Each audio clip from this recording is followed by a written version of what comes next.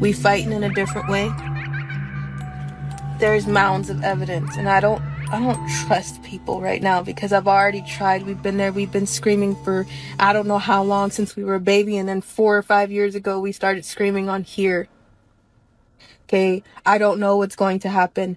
I do know that this is the hill that we die on. There are some people who are really upset by us saying what we are about to say. There are some people that are really upset that if this arrest goes through with the females I'm thinking it's supposed to go through with,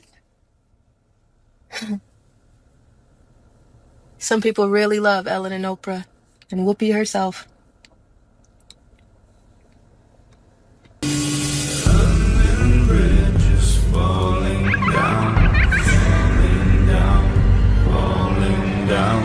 London Bridge